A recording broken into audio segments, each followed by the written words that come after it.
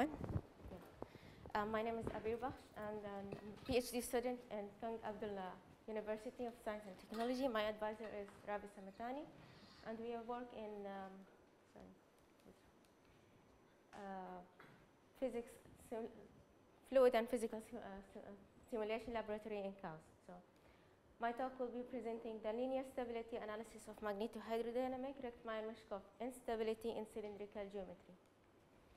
Uh, the outline are given by the introduction, uh, linear simulation of, of compressible MHD RMI. Then we will present the linear analysis of incompressible MHD. Then uh, we will just give the main point of the numerical inverse Laplace transform, why we are using this uh, inverse uh, method. Then we will show the results. So as we, it will known, uh, the Richtmyer-Meshkov instability occurs when, an impulse, uh, when a shock wave impulsively accelerates a perturb interface between two different fluids, uh, which is, have many uh, sub, uh, important subjects such as understanding the light curve in supernova explosions, mixing in scramjet uh, engine combustors, and the inertial confinement fusions. so the RMI promotes the mixing between this capsule material and fuel and limit the possibility of achieving the energy which is produced, pr produced in the ICF. So the previous work in numerical simulation shows that in planar geometry the presence of the magnetic field will inhibit the instability and the suppression of RMI caused by Alfvén, uh, Alfvén fronts or MHD shocks that carry the vorticity away from the interface. In cylindrical geometry, uh, there, uh, there is an extensive uh, study in the, sorry, what is the, it's confusing, okay, this one. An extensive uh, study in the nonlinear RMI, cylindrical and spherical geometry for various uh, initial seed of magnetic field configuration. Also, they also showed that the suppression of RMI and RT uh, uh, instabilities will occur in the presence of the, the magnetic field. This movie shows the MHD shocks that uh, splits across the interface and they move the instability. They, rem they remove the vorticity from the interface.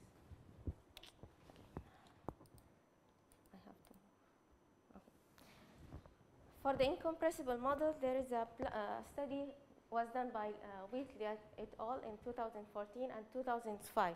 Will be presented later.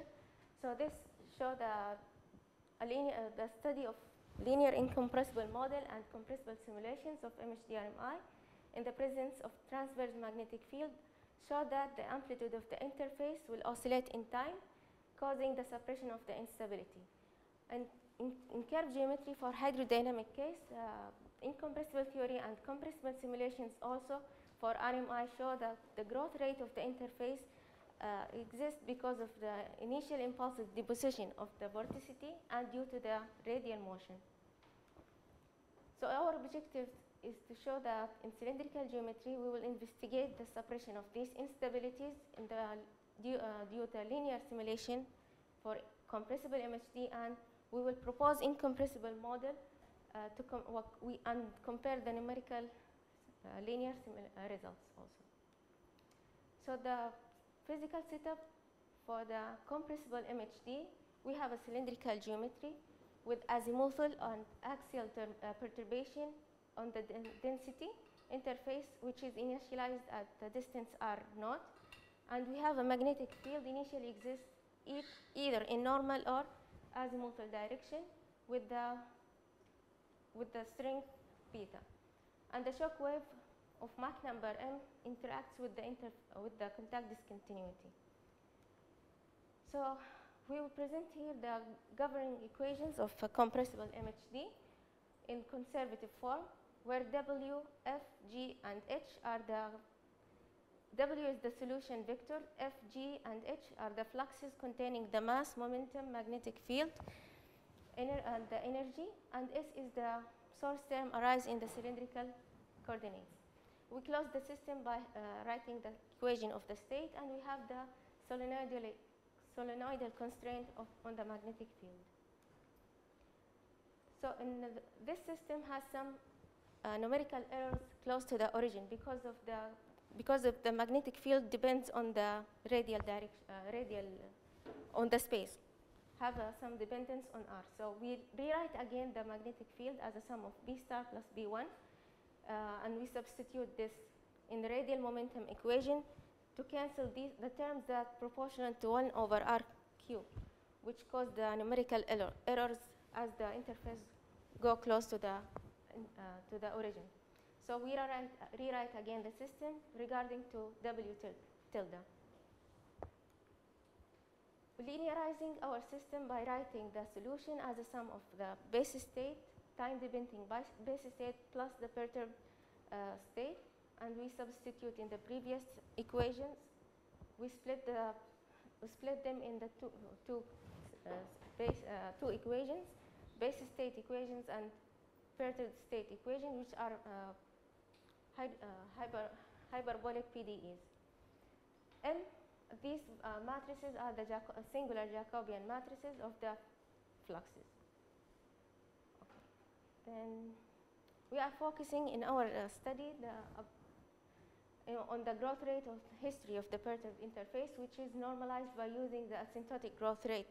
This asymptotic growth rate was proposed by Lombardini in the cylindrical geometry. We are showing the previous result. We this this work was already published in the, in the normal, uh, in, the, in the presence of normal magnetic field. The first one showing the purely azimuthal perturbation. The second one is in the case of purely axial perturbation uh, for large wave numbers and different values of beta. The first one showing the hydrodynamic uh, case where the RMI showed the similar results as the planar case. It's uh, oscillate around one uh, around unity. Then because of the converging geometry, we have the Rayleigh-Taylor uh, phase, which control the instability. Similar in the second case, then uh, by apply, applying the magnetic field, we can see the suppression of these instabilities. Okay. Uh, so uh, the, uh, the we are showing here the baroclinic vorticity, the vorticity that exists on the interface. For the hydrodynamic case, we can see the vortex sheet exactly on the position of the contact discontinuity. While in the presence of the magnetic field, we have two vortex sheets split away from the contact discontinuity. This, uh, we can physically, we, we say that two Alfvén fronts remove this vorticity and transport them away from the interface, which cause the uh, suppression of the instabilities.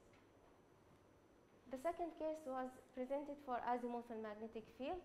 The same thing we studied the hydrodynamic and the presence of the magnetic field for different uh, Atwood number, the, the ratio of the interface, the densities of the interface. So for the positive Atwood number and negative Atwood number, the first one shows the, uh, the same results.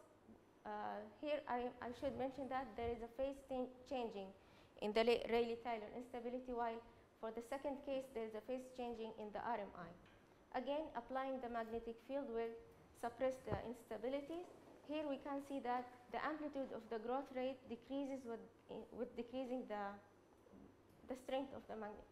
The, the strength of the magnetic field. As it's go up, so the suppression will occur very quickly, and the, the frequency of the, the, these oscillations also will increase.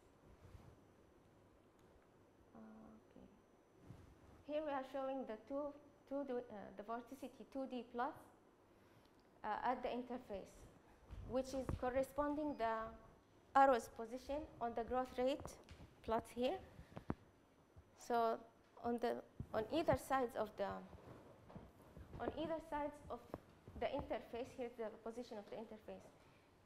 We can see the vorticity are transported away by, by waves traveling parallel and anti-parallel to the, to the interface. Um, okay. Um, so they, where is,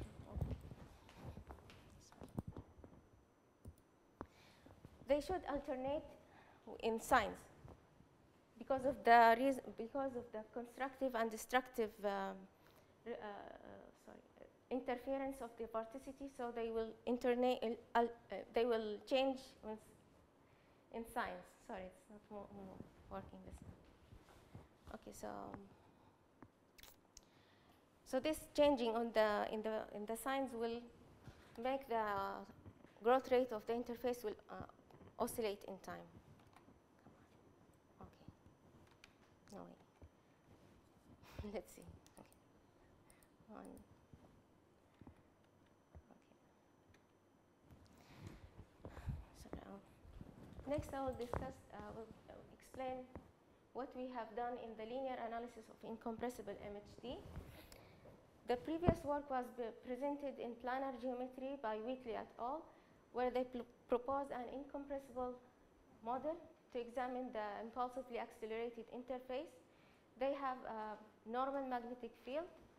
This interface was, has initial impulse, which, is mo- which moves in constant velocity. After, uh, so they linearized the initially uh, the, the incompressible equations and solved them using Laplace transform. And they obtained a singular uh, ODE, which was easy to solve analytically.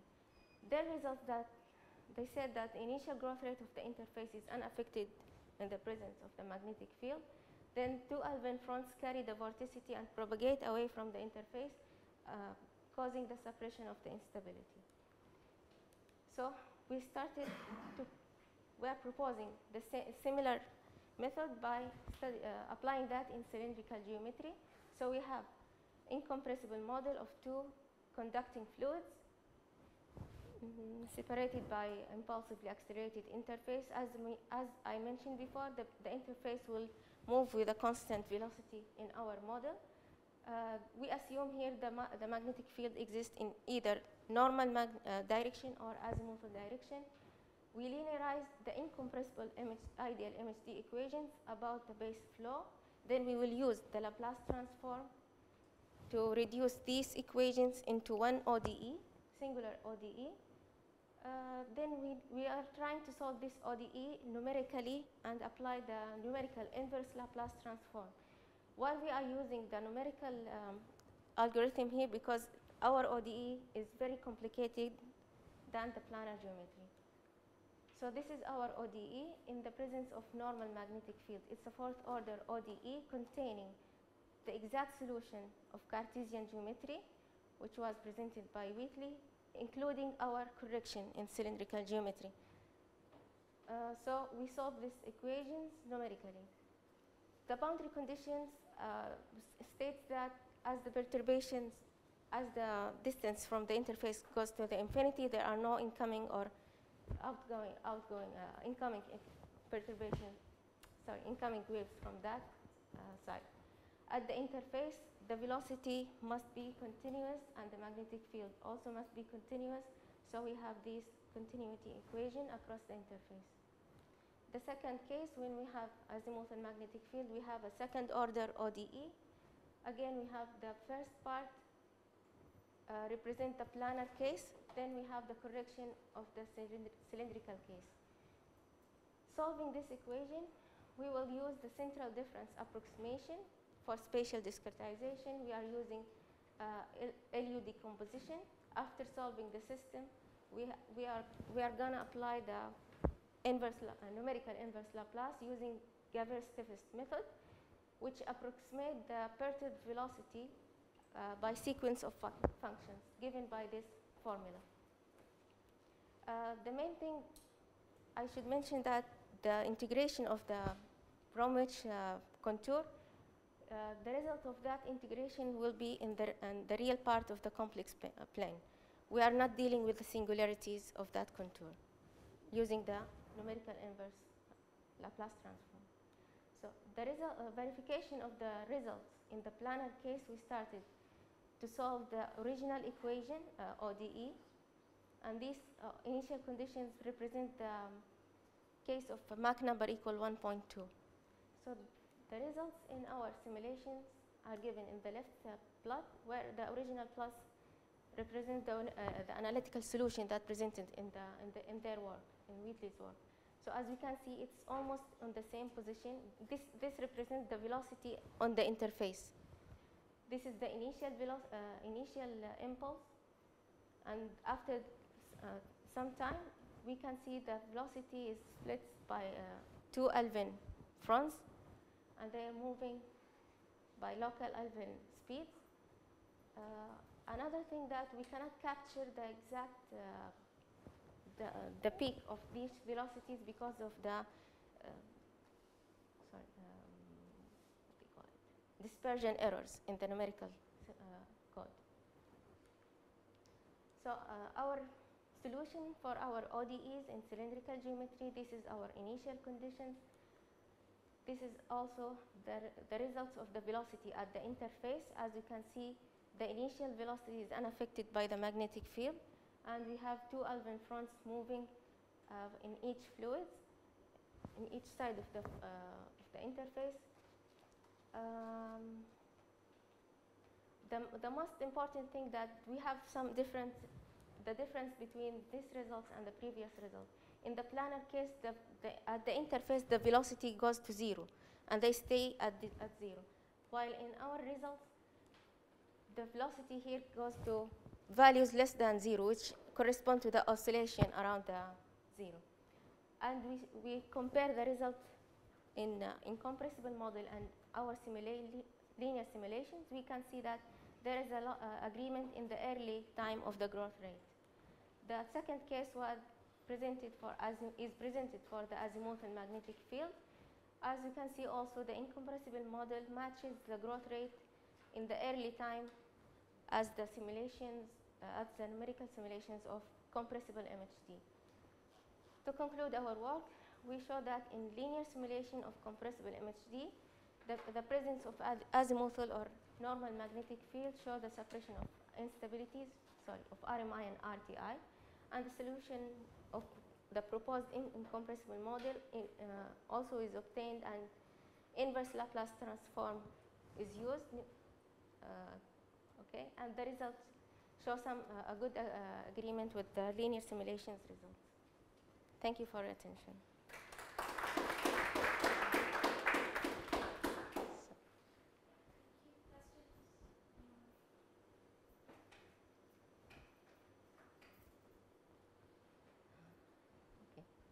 Thank you.